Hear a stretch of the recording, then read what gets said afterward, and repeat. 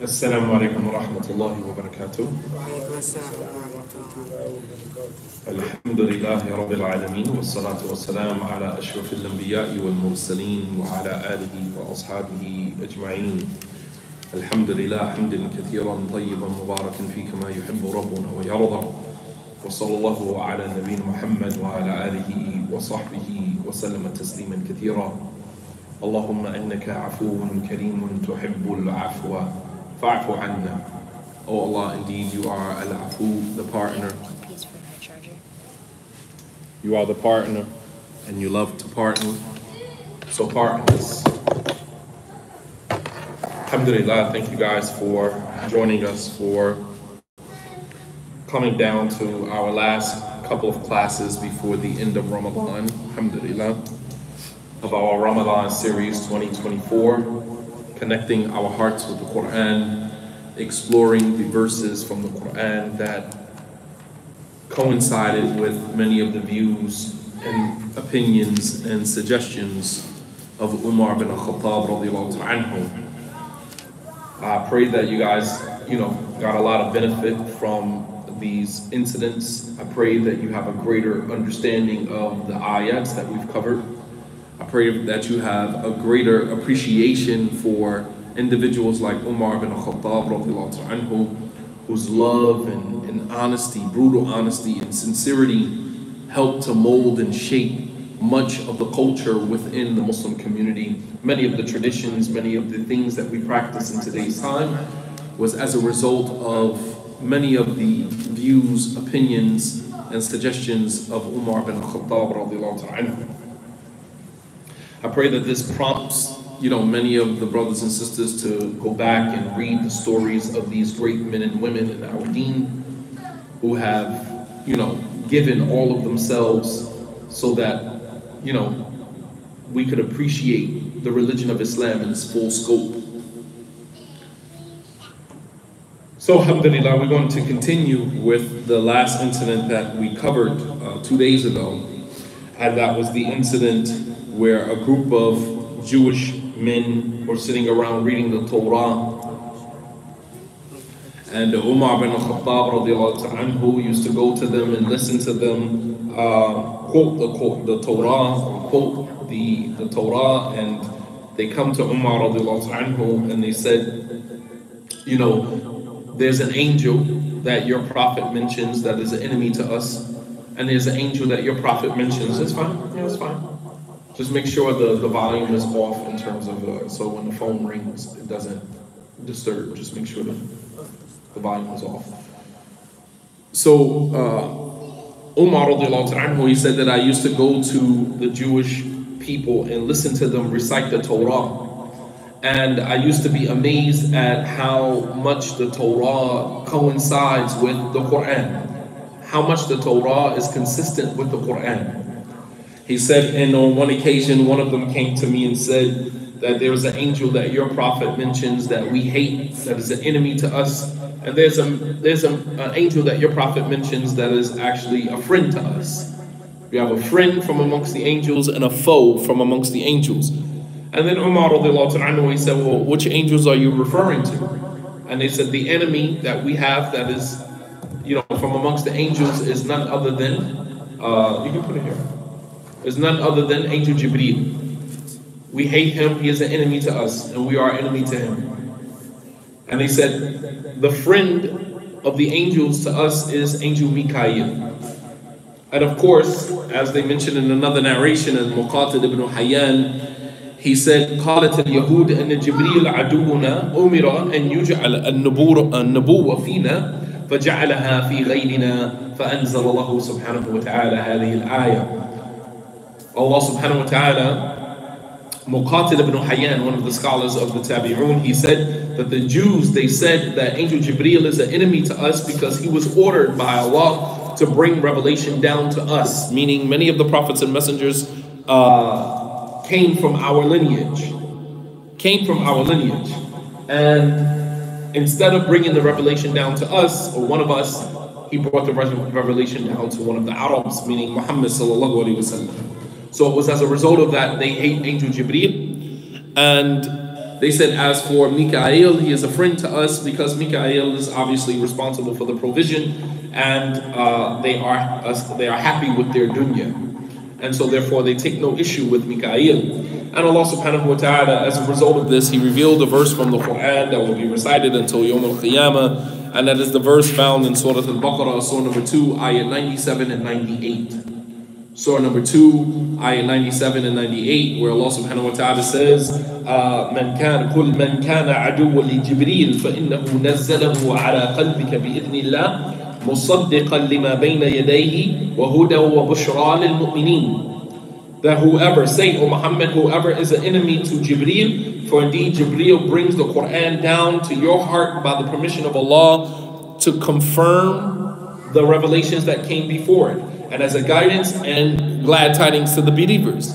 But whoever is an enemy to Jibreel, whoever is an enemy to Allah and Mikael, uh, and, and whoever is an enemy to Allah and to the angels and to his messengers and to Jibreel and to Mikael, meaning Mikael, for indeed Allah is a lil kafirin. Allah is an enemy to those who disbelieve.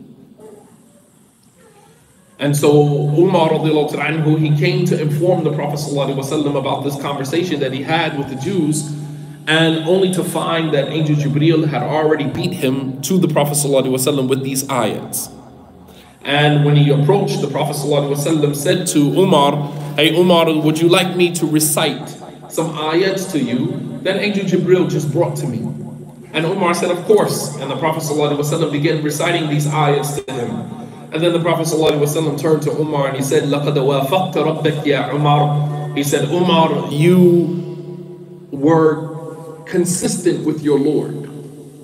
Meaning what you said to this group of Jewish men in defense of Angel Jibreel, in defense of Angel Mikael, is in com complete conformity with what Allah subhanahu wa ta'ala revealed to me through Angel Jibreel. He said, Ya Umar, قد وفقت ربك. You have agreed with your Lord once again, Ya Umar. فقال عمر لقد رأيتني بعد ذلك في دين الله أصلب من الحجر. Umar said, after that, I saw myself as it relates to my deen to be so more solid than a rock. I was more solid than a rock when it came to my deen after the Prophet ﷺ revealed this to me.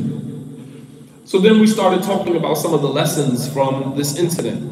And lesson number one was that true validation should be sought from Allah subhanahu wa ta'ala. We seek, we seek validation from God, not validation from anyone else. As Umar anhu, he said that once the Prophet ﷺ revealed to him that he was, you know, agreed with Allah subhanahu wa ta'ala and what he said, Umar said that after that, I was more solid in my deen than a rock, meaning because I got the validation. I said something to them, not even knowing that Allah subhanahu wa ta'ala was going to send Angel Jibreel with ayats that will be recited until Yom al Qiyamah that shows that what I said to them was correct. And that we should seek validation from Allah subhanahu wa ta'ala, not validation from anyone else. Once you know that you are right with God, then nobody else's validation or criticism should matter. If you don't live in their praise, then you never have to worry about dying in their criticism. If you don't live in their praise, then you should never have to worry about dying in their criticism. But if you're always looking for validation, always hustling from validation from others, then you essentially allow them to control you. Because the person that you rely on for their praise and their validation also controls, they control building you up and they also control breaking you down. You don't ever give someone that much power over you. You don't ever give someone that much power over you. It's called a codependency. You become codependent on other people for their validation, whether that is a spouse, whether that is a child in relation to their parent, Yes, it is always nice for to hear your spouse say something nice about you, but keep in mind, some spouses are actually in competition with one another. So as a result of that, they can't praise you. As a result of that, they can't say things nice about you. They can't validate you because your success is essentially their failure. That is a fact. There are many spouses that are in competition with one another, unhealthy competition with one another. And so you're wondering why you get dressed up, or you're wondering why you're making, you know, these successful moves and you're making having these great achievements in your life, and your spouse is not really recognizing it. They can't recognize it because your success equals their failure. They can't recognize it. So they're not going to say anything nice about it. They're going to sit and wait for your downfall. Because they can't praise you, they can't validate you. As the scholars say. Somebody who doesn't have something can't give you what they don't have. They can't validate you because they haven't validated themselves. When you validate you, you can give validation away generously. You can be generous with your validation because you're not seeking it from anybody. I don't rely on you for how I feel about myself. I rely on me for how I feel about myself. And as a result of that, I can praise people and I can say nice things about people. I can compliment people. I can give that way that away freely. Belesh. I can give it away for free. But a person who doesn't have that, they can't give it to you because they're too busy trying to get it for themselves. They can't validate you because they're empty. They need the validation for themselves. They can't praise you because they need the praise.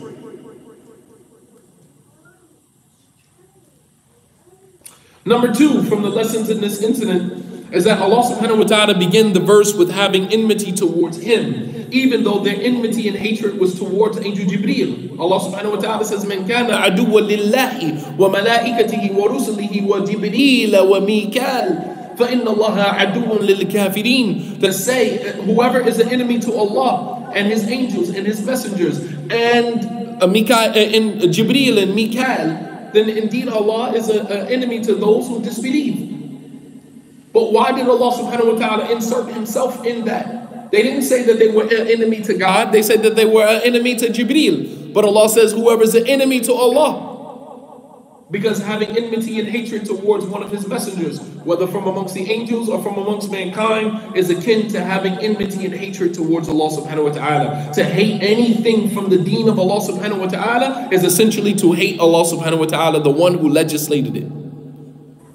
You can't take issue with anything from the deen except that that will ultimately lead you to taking issue with the one who legislated that as a part of the deen. And that is none other than Allah subhanahu wa ta'ala. So don't say that you have a problem with polygyny or you have a problem with, you know, this or you have a problem with that. You have a problem with the Prophet ﷺ. You can't, you know, understand how the Prophet ﷺ could marry Aisha at the age that she was. I have an issue. I take issue with that. Everything else in the religion I'm cool with, but this one issue. Don't you know that Allah subhanahu wa ta'ala sent the Prophet ﷺ in his dream a picture of Aisha in his dream? And that the Prophet ﷺ marrying Aisha was by divine revelation. The encouragement was from Allah subhanahu wa ta'ala, no different than it was when the Prophet ﷺ married Zainab. That came from Allah subhanahu wa ta'ala. Many of his marriages were legislated from above the seven heavens, encouraged through the revelation of Allah subhanahu wa ta'ala. So for you to say you take issue with something or take issue with this or that, then you essentially you take issue with God. Your, your issue is not with this matter or that matter or this random issue from the deen. Your issue is an issue of God. And for a Muslim to hate anything from the religion of Allah subhanahu wa ta'ala will remove you from the fold of Islam. The only thing that I can encourage you to do is to gain more knowledge because we are afraid and we are fearful of the things that we are ignorant of. That's a fact. The more ignorant you are of something, the more afraid of it you are. The more knowledge you gain of something, the more confident you are in approaching it and discussing it.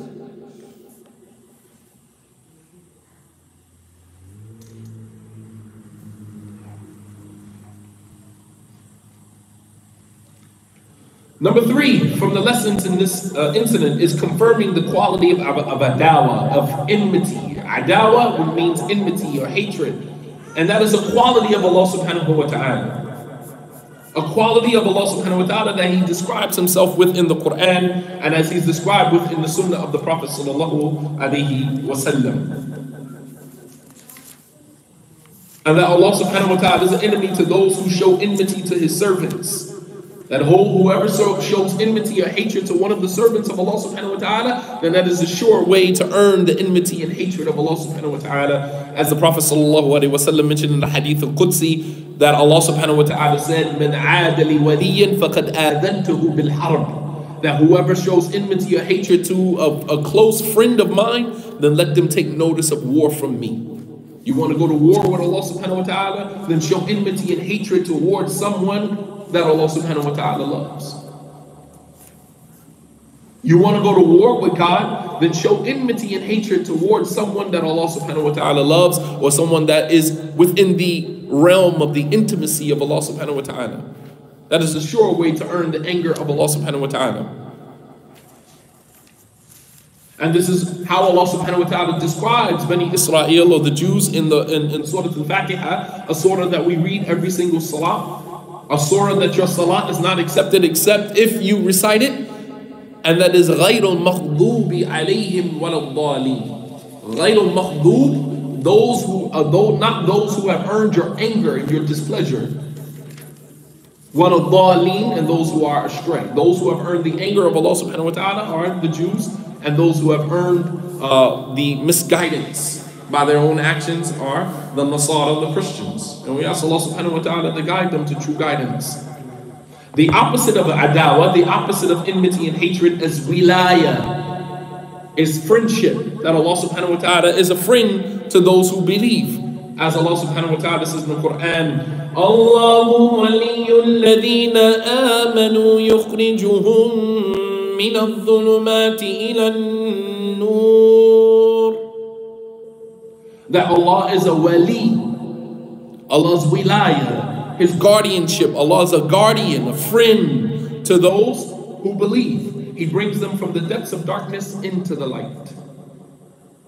Number four, from the lessons in this incident, is the ongoing enmity and hatred of the Jews towards Islam and the Muslims for various reasons. Here in this incident, specifically, it is as a result of Angel Jibreel bringing revelation down to the Prophet ﷺ instead of to one of their own. And selecting a messenger, the last and final messenger, to be from amongst the Arabs instead of being from amongst the Jews. As they said, ذاك يعني جبريل عدونا من الملائكة ولو كان ميكائيل لآمنا بك وإن جبريل نزل بالعذاب والقتال والشدة they, The Jews, they said to the Prophet ﷺ, ذاك عدو لنا Jibreel, he is an enemy to us. If Mikael had brought you the Quran, then we would believe in you. If Mikael had brought you the Quran, we would believe in you. But because Angel Jibreel brought you the Quran, then, you know, we, we got to reject you. Jibreel comes down with al-qital, wal-shidda, wal-adab. Jibreel only brings punishment, harshness,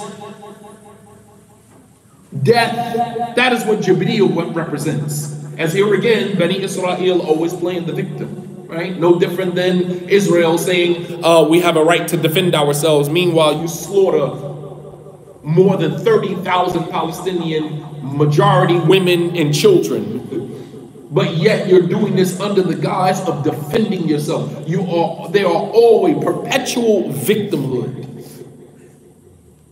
Perpetual victimhood. They're always the victim. Even if you read in the story of Prophet Musa, they are always the victim. They hide behind their victimhood. They throw a rock and then they hide their hand.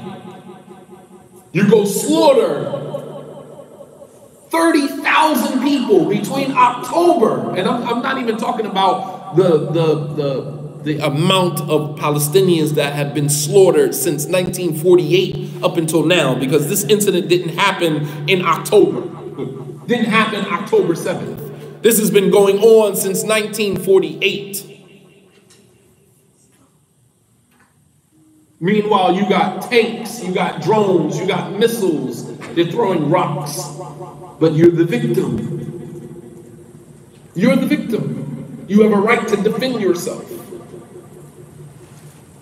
MashaAllah. No different than white people in today's society where the young black boy who got into a car accident and he went to, you know, the nearest house that he can find, knocked on the door because he needed some help, he needed medical attention, and the white guy comes to the door and shoots him. Because he was afraid for his life. Here's a guy who just clearly got into a car accident, blood running down his face, knocking on the door because he needs medical attention, and you take the opportunity to shoot him with a shotgun under the guise of I'm, I, I, I, was in fear of my life. This is the same thing that white people say. You go and you wreak havoc on the black community under the guise of I was in fear of my life.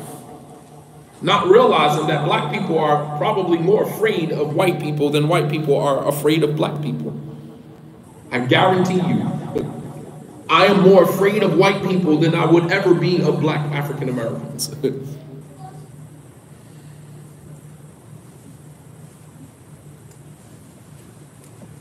But it's the same argument. And it's the argument of people who have a privilege. Because their fear and our fear is totally different. Their fear and our fear is totally different.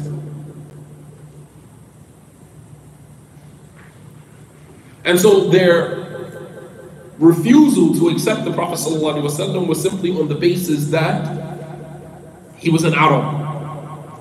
And it's out of pure jealousy, as Allah subhanahu wa ta'ala says in Surah number 4, ayah 54 and 55. أَمْ يَحْسُدُونَ النَّاسَ عَلَى مَا آتَاهُمُ اللَّهُ مِنْ فَضْلِهِ Are you jealous of the people because of the virtue that Allah has given them over you? فَقَدْ آتَيْنَا آلِ دَاوُودَ كِتَابًا وَالْحِكْمَةَ وَآتَيْنَاهُمْ مُلْكًا عَظِيمًا We have given the family of Ibrahim the book, the wisdom, and we have given him given them the family and the lineage and the progeny of Ibrahim. We've given them mulkin azima. We've given them a great kingdom. فمنهم من آمن به ومنهم من صد عنه وكفى بجهنم سعيرا and some from amongst them believed, and others from amongst them turned away and turned others away, and sufficient is the hellfire as a place of refuge for them. And it doesn't matter whether it was this reason or that reason, they are simply a rebellious nation of people. they are a rebellious nation of people who never valued divine guidance to begin with from the time of Prophet Musa salam all the way up into our time today. They've changed the book with their hands. They've changed the words of Allah subhanahu wa ta'ala. How in the world do you go into a divine book? Divine book given to your prophet. Divine book. Perfect as it is and change the words on your own. Change the laws of Allah subhanahu wa ta'ala. There can be no greater form of rebellion than that. Change the books with, from, you know, from their proper places. Right? Subhanallah, you go into a divine book revealed by God and you change the words. Yeah, I know God said that, but you know, I, I don't. We don't. We don't ascribe to that, and you change it on your own. And then to make matters worse, you change the words from their proper places and then you present it to the people as if it's the word of God. فويل للذين يكتبون الكتاب بأيديهم ثم يقولون للناس ثم يقولون هذا من من عند الله Woe be to those who change the book with their own hands and then present it to the people and say, These are the words of God. And the Christians are guilty of that as well. Change the Bible so many times. And the fact that there's contradictions in it, which we'll get to that, is an indication that it doesn't come from God. In the Bible, it says God is not the father of confusions, but, is not the father of confusion, but Christians can't be anything more than confused. Make it make sense. They're confused. Ask them some of the basic questions that many of us have asked your local pastor, your local preacher, your local Sunday school teacher, and they can't give you an answer. Their response to it is just believe in it. No. There are some matters that, yes, we just believe in, but there are some matters like the basis of who God is, that is not something that we just believe in. And this is why Ayatul Kursi is the greatest ayah in the Quran. Why is Ayatul Kursi the greatest ayah in the Quran? Someone explain. The greatest ayah in the Quran is Ayatul Kursi. Allah la ilaha illa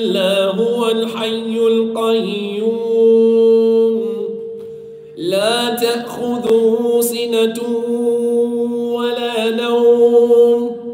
له ما في السماوات وما في الأرض. من ذا الذي يشفع عنده إلا بإذنه؟ يعلم ما بين أيديهم وما خلفهم ولا يحيطون بشيء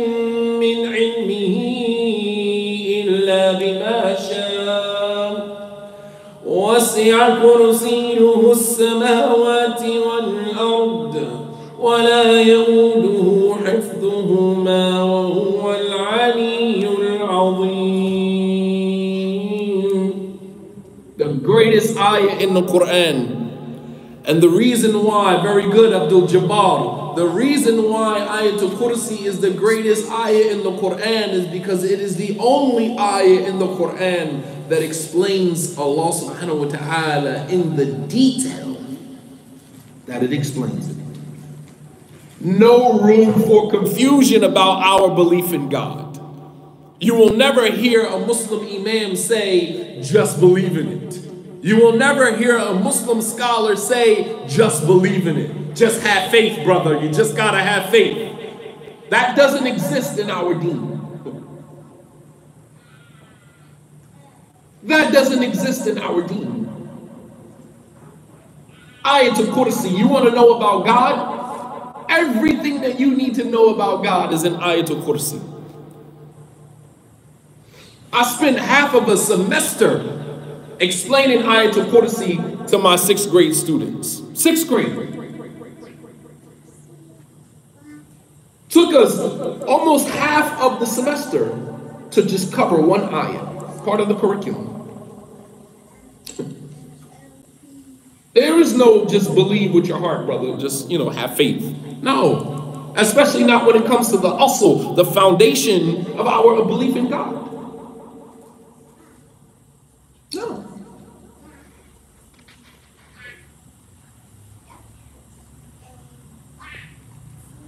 And so they gave Allah subhanahu wa ta'ala, Bani Israel, they gave Allah subhanahu wa ta'ala an oath to follow the last and final prophet. But when Allah subhanahu wa ta'ala revealed who that last and final prophet was, they rejected it. They knew. Allah subhanahu wa ta'ala says in the Quran, يَعْرِفُونَهُ كَمَا يَعْرِفُونَ أَبْنَاءَهُم They knew Prophet Muhammad was a prophet just like they knew their own children. They knew he was the prophet. Allah subhanahu wa ta'ala took an oath from them that they would follow him when he emerged. Allah says in Surah number 5, ayah 70. Turn to Surah, uh, Surah Al-Ma'idah, ayah number 70. Allah subhanahu wa ta'ala says, لَقَدْ أَخَذْنَا مِيثَاقَ بَنِي إِسْرَائِيلِ وَأَرْسَلْنَا إِلَيْهِمْ رُسُلًا We have taken a mithaq, we have taken an oath, a serious oath from Bani Israel. And we have sent to them messengers, and every messenger that came will always left some type of remnant of information about the last prophet. We took an oath from them, and we sent messengers to confirm that this last and final prophet was coming. But then Allah says, كُلَّمَا جَاءَهُمْ رَسُولٌ Every time a messenger came to them, بِمَا لَا تَهْوَى أَنفُسَهُمْ with something that they themselves didn't desire فريقا كذبوا وفريقا يقتلون a group from a prophet a group from a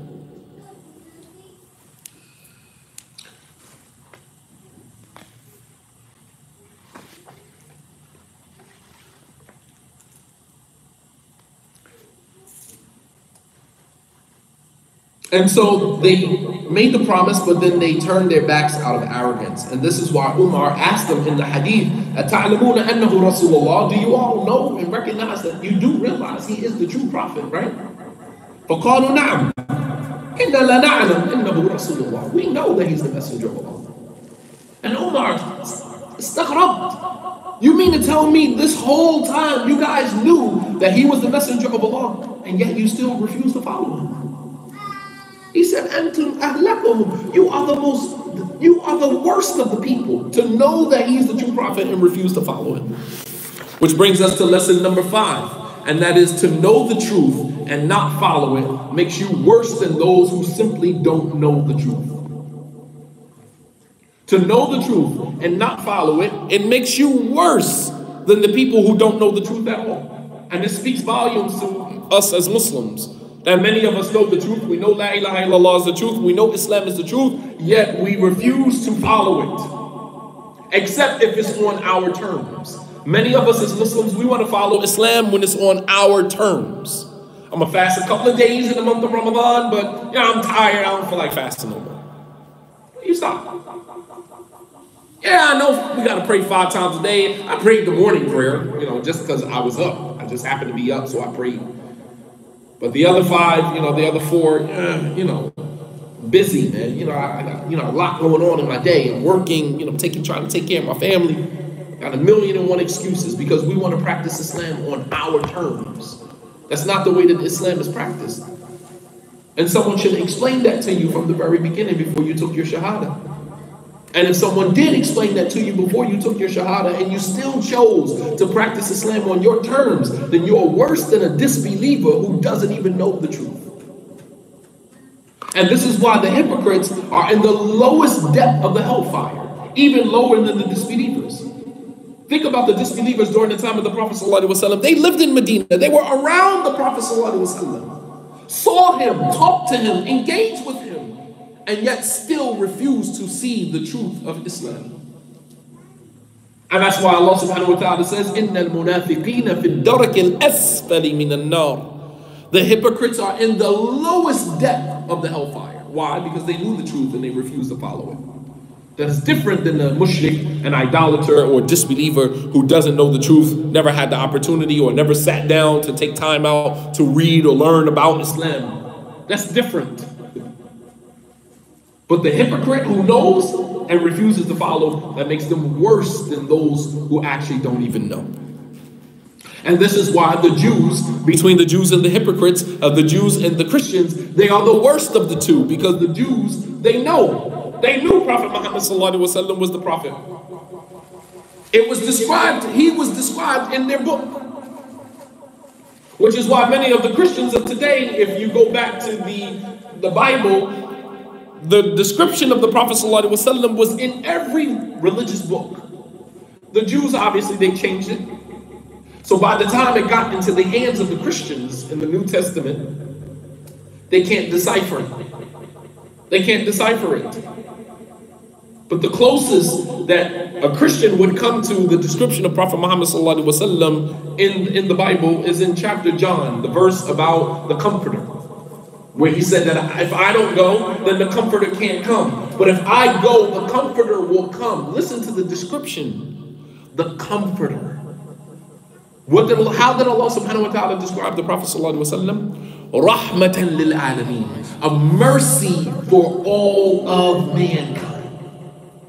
That's how he's described in the Quran. One of the many descriptions Allah gives him in the Quran. A mercy for all of mankind. In the Bible, there's a verse where it talks about, Jesus talks about the comforter. He said, I is for me now that I must go. And if I don't go, then the comforter will not come. But if I go, the comforter will come and he will inform you of everything that is to take place in the future. Didn't the Prophet ﷺ give us a detailed description of the last day, signs of the last day, things that would take place in the last day, as well as things that would happen Yom Al Qiyamah. Everything that is to come. Absolutely. But if you were to ask the Christians who was Jesus referring to, you get a million and one responses. He was referring to the Holy Spirit, was referring to John, was referring to this one, was referring to that one. Meanwhile, every person that they bring to fit that description does not fit that description like Muhammad fits that description. Here again, the arrogance. Arrogance.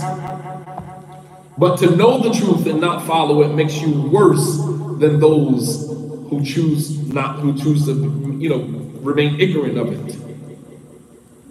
And this is why the hypocrites are in the lowest depth of the fire in relation to the disbelievers. And this is why the Jews are the worst of the two between them and the Christians. Number six from the lessons in this, inc- this incident is that one of the greatest reasons for not following the truth while you know better, is as a result of arrogance, kibr. One of the greatest reasons why people who know the truth and still refuse to follow it is arrogance, kibr. Allah subhanahu wa ta'ala says in the Quran about the Jews, أَفَكُلَّمَا جَاءَكُمْ رَسُولٌ بِمَا تَهْوَى تَهْوَى أَنفُسَكُمْ اسْتَكْبَرْتُمْ Is it the case that every time a prophet comes to you with something that you don't desire, you become arrogant? And a group from amongst them you kill, and a group from amongst them you belie. You reject. Arrogance is one of the greatest causes of rejecting the truth when it comes to you. When someone comes to you as a Muslim and says, hey, akhi, this is haram, you shouldn't be doing that. Man, ain't nobody trying to hear all of that. Arrogance. Oh boy, here come the haram police. Arrogance. Rejecting the truth, one of the main reasons that people reject the truth, even about themselves, is arrogance. The Prophet ﷺ said, Al kibru batrul haq nas. Arrogance is rejecting the truth when it comes to you and looking down on others. That's arrogance. Not that you take pride in how you look, not in the fact that you, you carry yourself in a dignified manner. That's not arrogance. Not the fact that you don't roll out a red carpet to allow people to walk over top of you. Not the fact that you are not afraid to tell people no. All of those things that we attribute and associate with arrogance is not arrogance at all. You ask me, hey, can you do this? And I tell you, no, I'm not going to do that. Oh, you're arrogant. Okay. That's what you say. But me telling you no doesn't mean that I'm arrogant. That's me setting a boundary. Because if I don't set a boundary, you'll run amok. You'll take complete advantage of me. Understand the power that is in no. Right, and that is between me and Allah. Not if you're doing it in public. If you're doing it in public, it's for public consumption. It's not between you and Allah subhanahu wa ta'ala. If you commit a sin in your home and no one knows about it, that's between you and Allah subhanahu wa ta'ala. But the moment that you do it in public and you broadcast your sins in front of everybody, then it's for public consumption. It's not between you and Allah subhanahu wa ta'ala.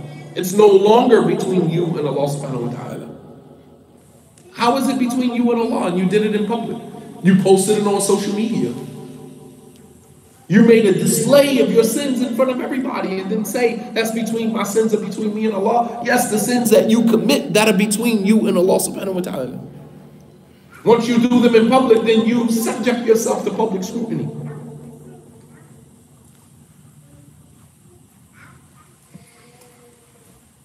So, one of the greatest reasons for not following the truth when you know better is as a result of arrogance. Arrogance. We don't want to be held accountable. We don't want to be told that we're wrong. And that trickles over into our marriages and our relationships with our children, our relationships with our parents, People just simply don't want to be held accountable. They don't want to be told that they're wrong. It's arrogance. And let me make it easy for you. If you're a person that cannot accept that you are wrong, if you're a person that deflects and runs and rejects every time someone brings to your attention that you are doing something wrong or that you made an error, let me make it easy for you. Let me give you an easy way to learn how to accept correction. Ready? An easy way for you to accept correction is that the next time someone brings to your attention that you did something wrong, just simply say to yourself, This is a reminder to me that I am still human. That's it. When someone brings your mistake to your attention, that is a reminder to you that you are still human. No matter how no matter how superhuman we believe we are or beyond human we believe we are, you're still human at the end of the day. You make mistakes, other people make mistakes. Today is your mistake, tomorrow somebody else's mistake. Today is your mistake, tomorrow somebody else's mistake. But the fact of the matter is that we all make mistakes. The Prophet ﷺ said, كل بني آدم خطاؤون وخير خطائين توابون that the all of the children of Adam make mistakes, commit sin. And the best of those who commit sin and make mistakes are those who repent. And part of repentance is acknowledging you're wrong. So just be the best sinner that you can be. Be the best person that makes an error or a mistake that you can be. And that is by acknowledging the mistake and asking Allah subhanahu wa ta'ala for forgiveness. It's that simple. But the reason why we're ducking and dodging, you know, when people, you know, are bringing to our, you know, uh, attention the mistakes that we make is because it conflicts with who we believe we are. It conflicts with who we believe we are. It's dangerous for a person to begin to accept who he is based upon what he believes about himself. Your thoughts about yourself can be some of the most toxic thoughts that you can harbor. What you believe about yourself. It can be some of the most toxic thoughts that you entertain in your life. And those are the thoughts that you have about the beliefs that you have about yourself. Because that's the way you see you. Other people don't see you like that. And so when someone brings to your attention, you made this mistake or that mistake, we rush to put up this wall because the information that they're trying to bring to us conflicts with what we believe about ourselves. Going a little deep into the psychology realm, but that's that's one of the reasons. There's this conflict between what the person is bringing you and what you believe about yourself. So the, it's not the person that's bringing to your attention that's at fault. It's your thinking about yourself that is at fault. Because you start to drink your own Kool-Aid. You start to drink your own Kool-Aid.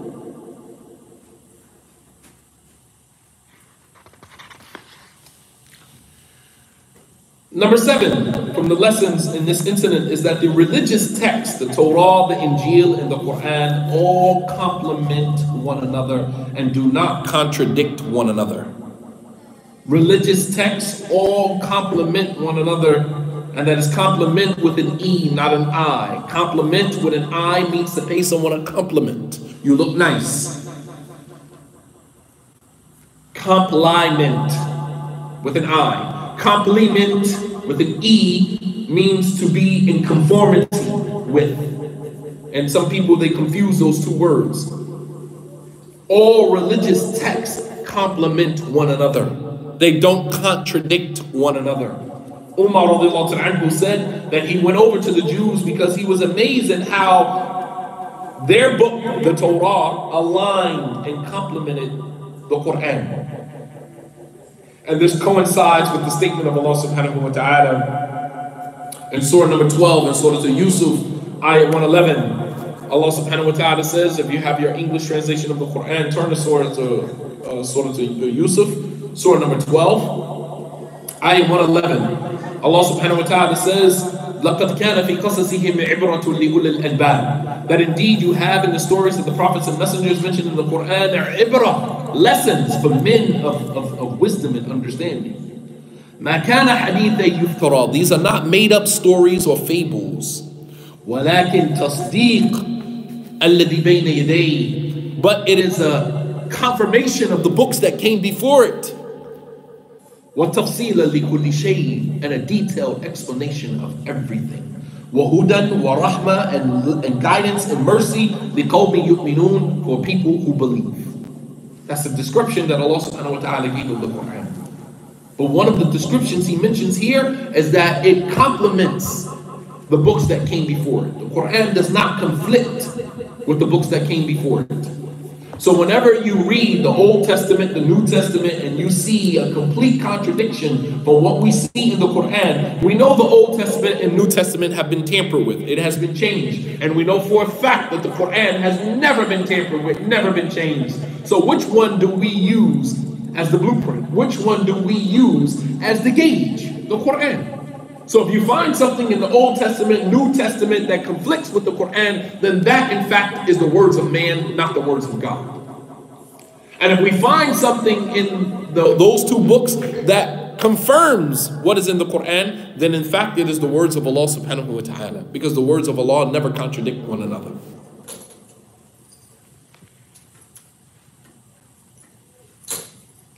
Allah subhanahu wa ta'ala turn to surah number 3, ayat 3. Surah Al Imran, Surah number 3, Ayah 3. Allah subhanahu wa ta'ala, He says, نزل عليك الكتاب بالحق مصدقا لما بين يديه وأنزل التوراة والإنجيل Allah subhanahu wa ta'ala says that He sent down the book in truth to confirm the revelations that came before it, and He revealed the Torah and the Injil. Meaning, He revealed what came before it from the books of Allah subhanahu wa ta'ala.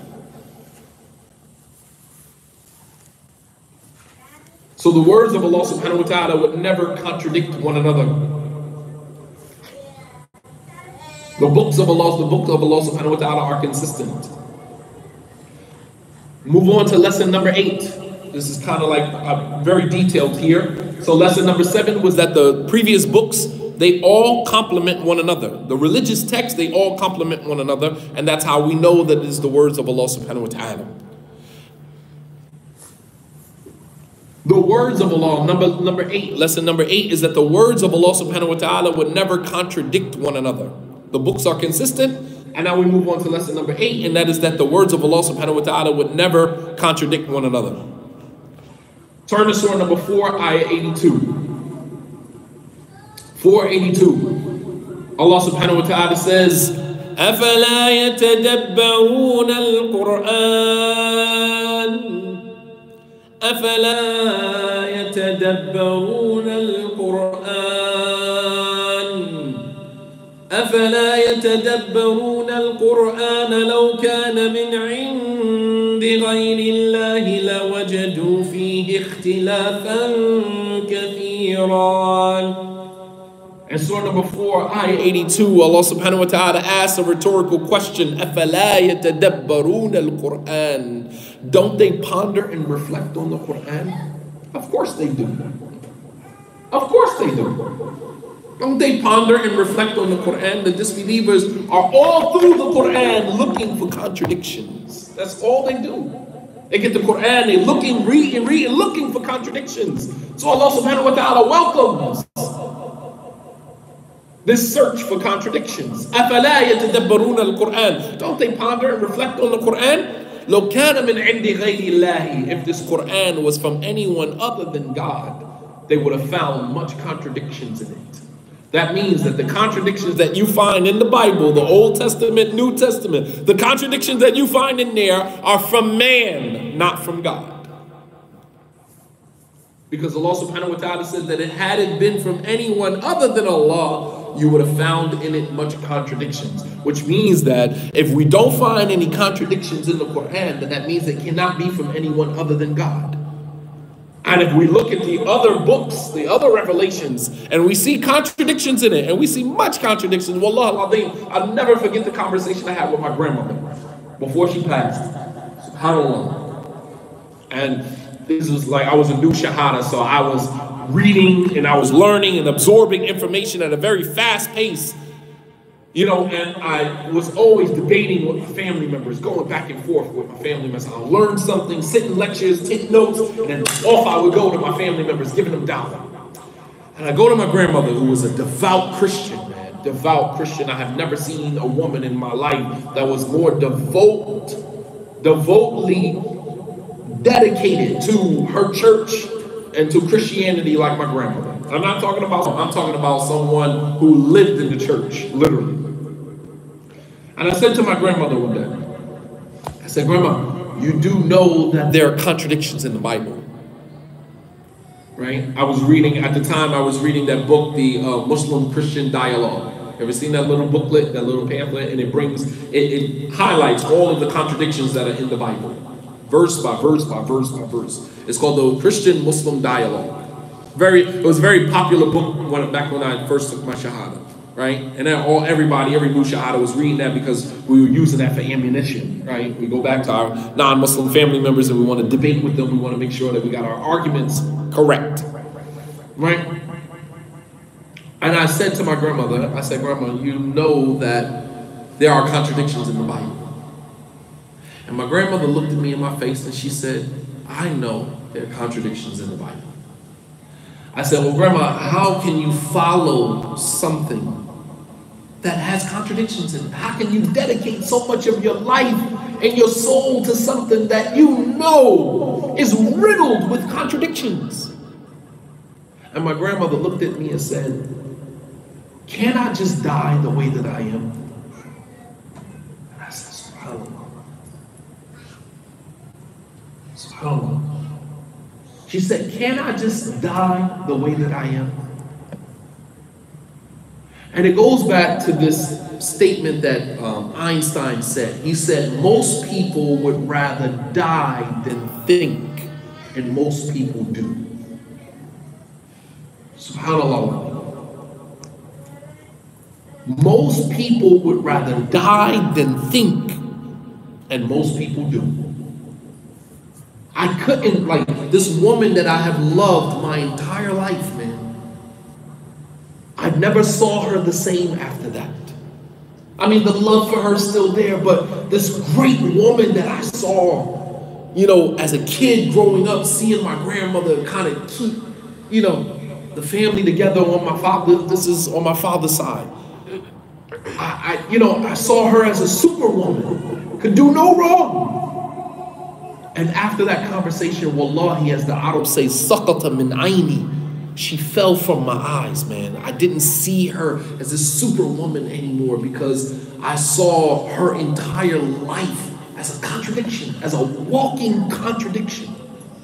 Every time you grab your Bible and put it underneath your arm and walk out your door and go into the church, you are going knowing that something ain't right about this.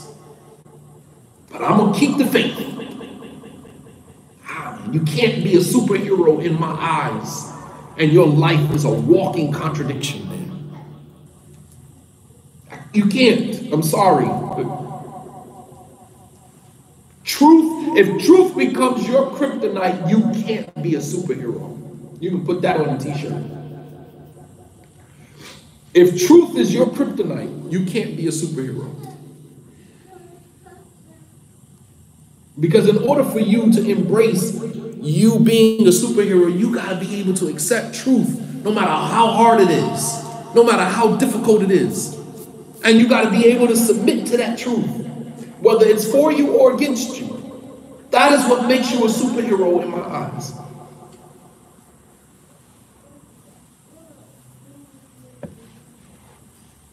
So the words of Allah subhanahu wa ta'ala are not inconsistent. They would never contradict one another. Allah subhanahu wa ta'ala says in Surah number 44, ayah 82, أَفَلَا يَتَدَبَّرُونَ الْقُرْآنِ Don't they ponder and reflect on the Qur'an? لو كان من عند غير الله لوجدوا فيه اختلافا كثيرا If this Quran had been from anyone other than Allah, you would have found in it much contradictions. So the fact that you can't find any contradictions in the Quran is an indication, strong indication that it is from none other than Allah subhanahu wa ta'ala. On the authority of Abdullah ibn Amr ibn al-As radiallahu anhuma, أن نفرا كان جلوسا بباب النبي صلى الله عليه وسلم فقال بعضهم ألم يقل الله كذا وكذا وكذا؟ وقال بعضهم ألم يقل الله كذا وكذا؟ فسمع ذلك النبي صلى الله عليه وسلم رسول الله صلى الله عليه وسلم فخرج.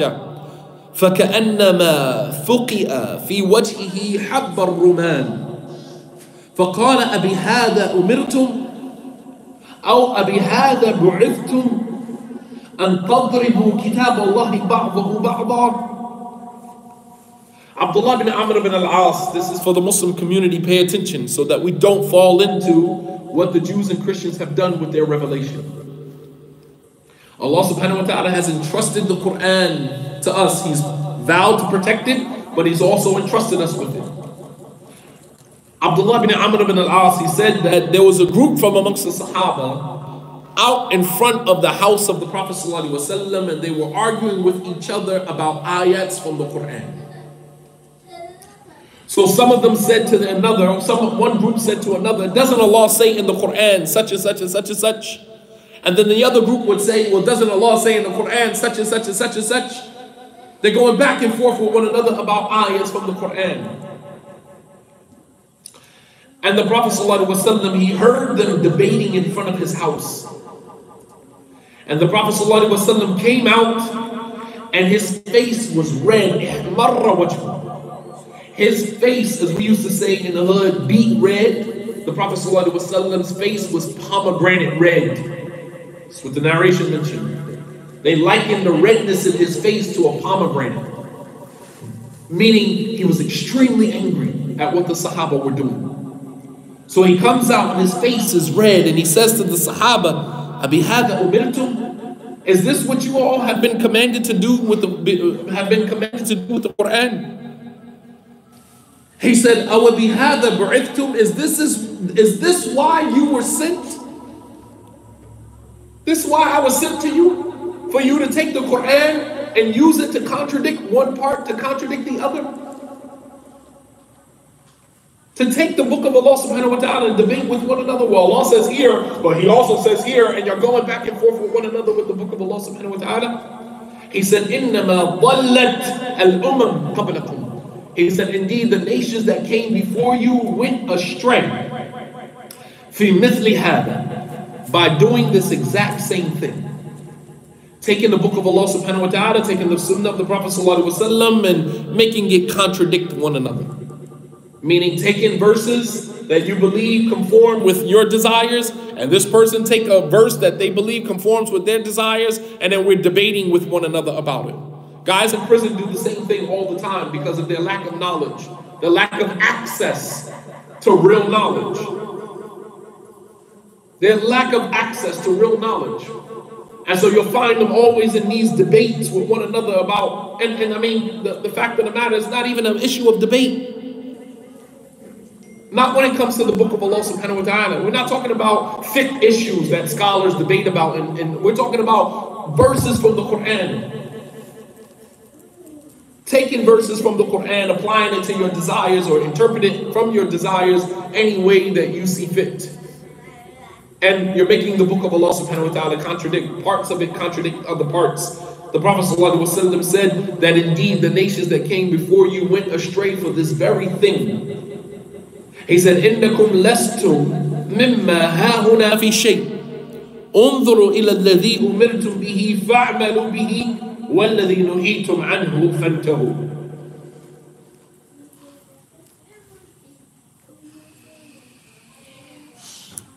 Basically telling the Sahaba, don't do this. He said, whatever you have been commanded to do in the Quran, then do it. And whatever you have been ordered to stay away from in the Quran, stay away from it. That's it. The Quran is broad instructions. The Quran doesn't give you details. The details are in the sunnah of the Prophet. But whatever Allah subhanahu wa ta'ala commands you to do, then do it. And whatever He forbids you, then stay away from it. The Quran is simple in that, in that particular regard. And this narration was collected in the Musnad of Imam Ahmad and the Sunan of Ibn Majah. Number nine, from the lessons in this incident is the loyalty that we should have for Islam. The loyalty that we have for Islam and for everything that is connected to our religion. And Umar made it clear that if you are enemy to Jibreel and you are enemy to Mikael, then you are enemy to Allah subhanahu wa ta'ala. You are enemy to the deen of Allah subhanahu wa ta'ala. I don't care what part you say you like, what part you say you don't like. You are enemy to one thing, as it relates to Islam, you're enemy to everything. You hate one thing in Islam, you hate everything. Our deen is a all or nothing deen. You don't get to pick and choose from the religion what you want and what you don't want. Allah subhanahu wa ta'ala reminded Bani Israel when he said, أَفَتُؤْمِنُونَ بِبَعْضِ الْكِتَابِ وَتَكْفُرُونَ بِبَعْضِ Do you believe in part of the book and you reject part of the book? That's not our deen. Our deen is an all or nothing deen. You don't get to pick and choose, cherry pick what you want, and then leave off what you don't want. That's not the religion of Islam. You might want to go back to Christianity or go find some other faith that allows you to do that. But in Islam, we are all or nothing deen. You love all of the deen or you hate a part of it, and essentially you hate all of the deen. You don't get to dislike a part of the deen and, you know, and like other parts. That's not, that's not how it works. The believers are friends and protectors and maintainers of one another. They love each other. We don't necessarily have to like each other, but we love each other for the sake of Allah subhanahu wa ta'ala. Meaning, personally, me and you, we may have had some issues in the past. Maybe your son married my daughter, maybe I married your mom, or whatever the case may be. We had some interaction, and as a result of that, the situation went sour. We don't like each other, whatever the case may be. Happens. However, I will never not love you for the sake of Allah subhanahu wa ta'ala, regardless of how I feel about you personally. I will never not love you for the sake of Allah subhanahu wa ta'ala. What does it mean to love you for the sake of Allah? We just covered the hadith of the night. What did the Prophet ﷺ said that let he who believes in Allah in the last day, what? Love for his brother? What he loves for himself. And hate for his brother? What he hates for himself. Hate for your brother what you hate for yourself. Love for your brother what you love for yourself. That is the bare minimum of what is due to every Muslim, regardless of how you feel about them personally. I would never want to see you make a mistake. I would never want to see you do something haram and end up in the hellfire. I would never rejoice at your downfall or at your slip or at your error or at your mistake. I would never rejoice at that. Number one, there are divine consequences for doing that. Because the very thing that you laugh at is usually the very thing that you fall into later on. By default. That's just the way that it goes. The Prophet ﷺ said, لا تظهروا شماتة لأخيك أو يرحمه الله ويبتليك do not express joy and happiness at the downfall of your brother or your sister in Islam. For at least Allah will have mercy on them and forgive them for their mistake and test you with the same thing that they were tested with. You don't want that. You don't want that. When you see your brother or your sister being tested with something in Islam, there's a dua the Prophet ﷺ taught us to make when we see that. Alhamdulillah alladhi afani مما ابتله به وفضلني على كثير ممن خلق تفضيلا. All praises due to Allah who has spared me for what he has tested him with and has favored me over much of his creation. Because why did Allah subhanahu wa ta'ala test them and not you? That's a favor. Allah subhanahu wa ta'ala extended that to you. You understand? Do not ever show happiness or rejoice at the downfall of a slip or the mistake of your brother or your sister in Islam because the divine consequences of that is that you will fall ultimately into the very same thing.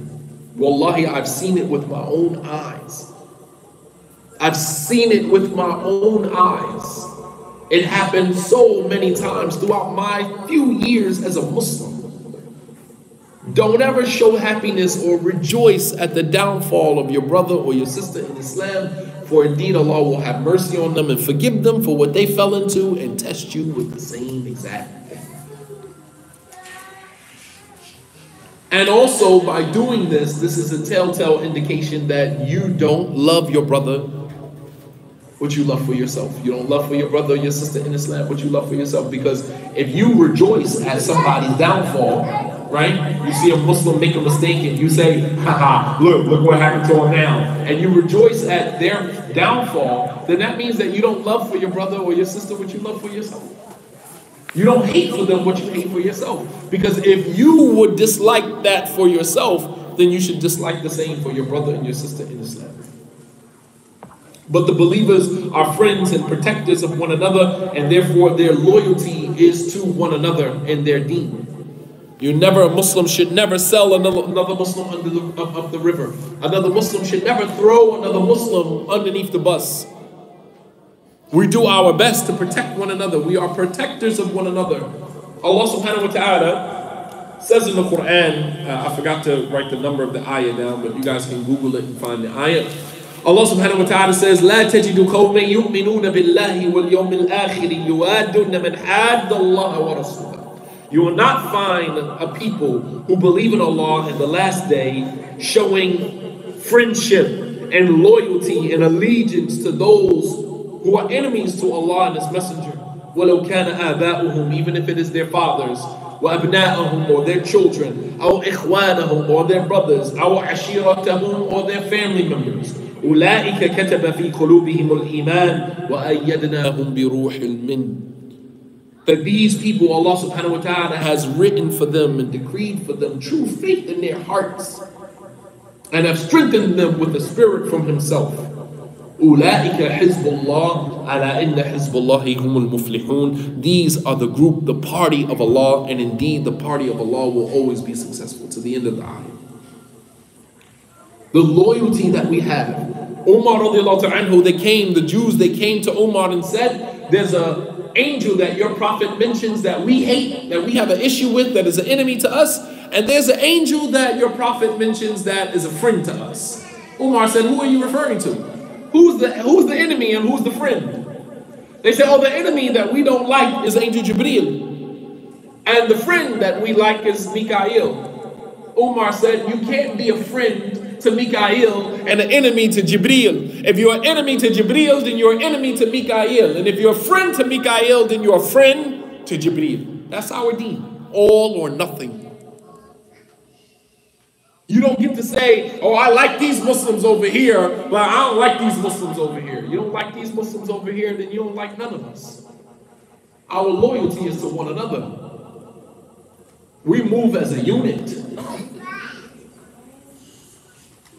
You don't work amongst your coworkers and then your, one of your coworkers catch you on the side and say, yeah, I like you, you're a good Muslim, but that Muhammad over here, I don't like that Muhammad.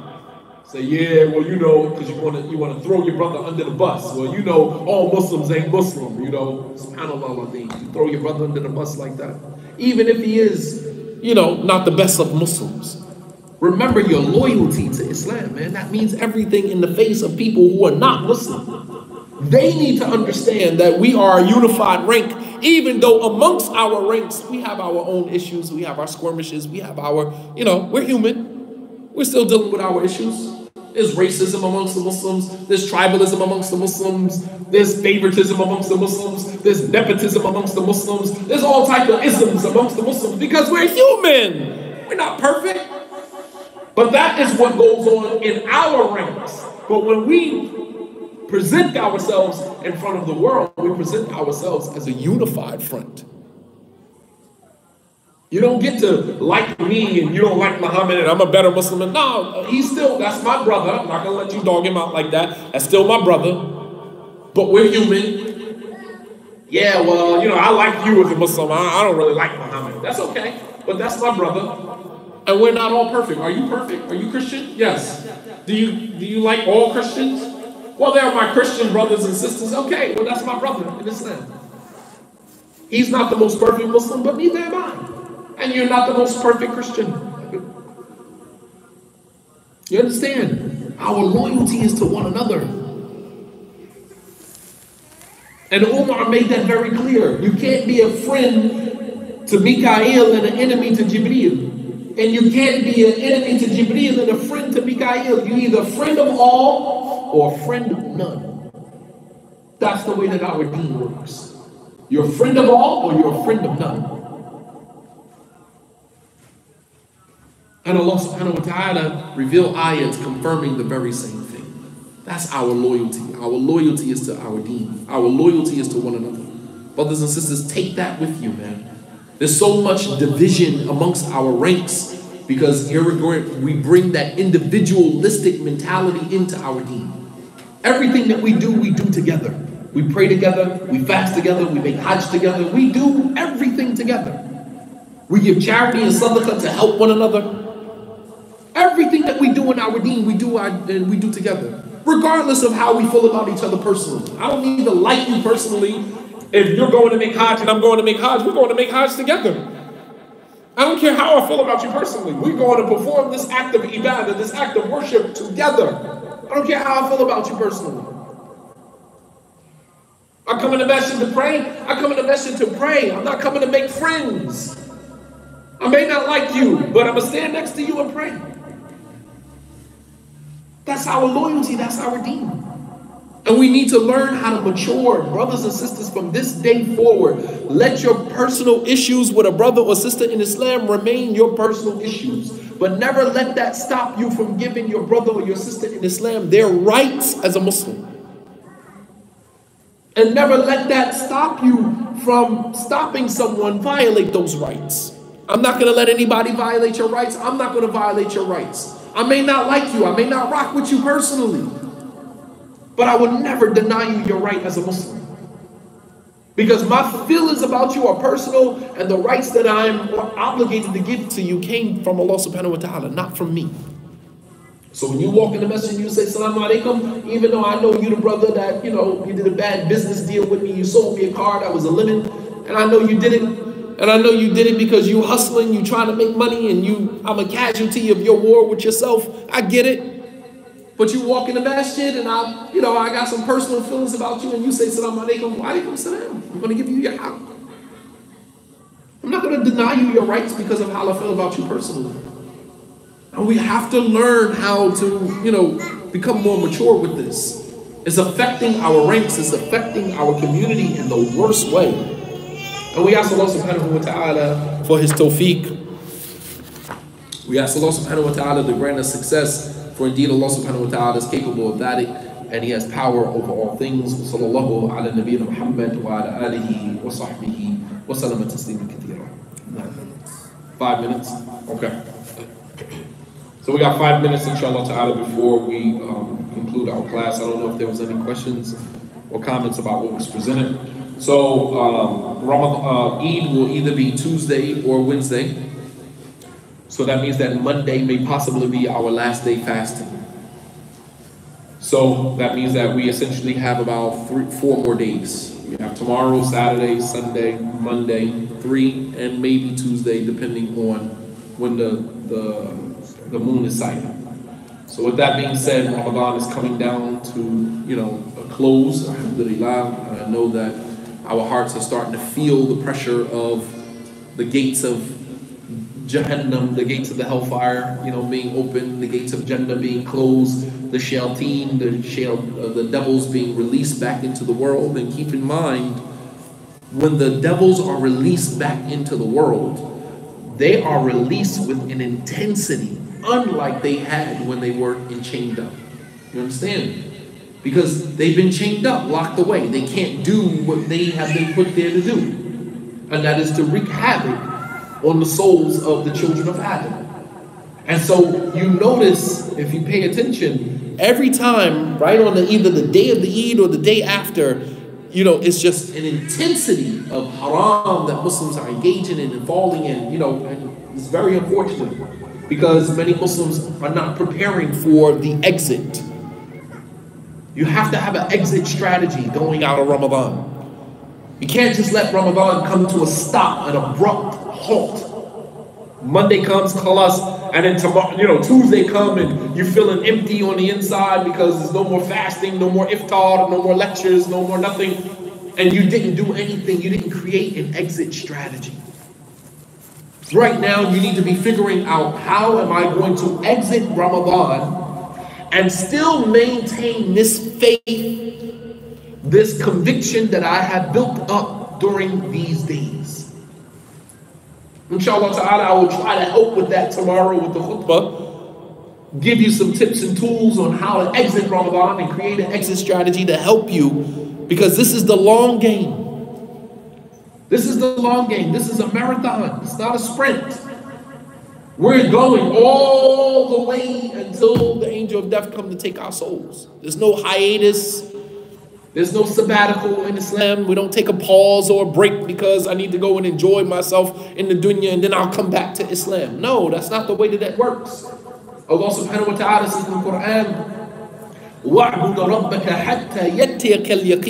Worship your Lord until death overtakes you. The end goal for us is death. So how do you maintain all of this that you have built up during these past 29, 30 days? How do you maintain that? It's the difference between a person who someone drops a million dollars in your lap and you don't know what to do with it because you don't have a game plan, you don't have, you know, you don't have anything, you know, a continuum plan put in place to help you maintain it. And so within a year's time, you spent the entire million because you didn't have a plan. And someone dropping a million dollars in your lap and you know exactly what you're going to do with it. I'm gonna invest this over here, I'm gonna invest this over here, I'm gonna buy this, and this is gonna be an investment, I'm gonna buy that, because you want that money to continue generating more money.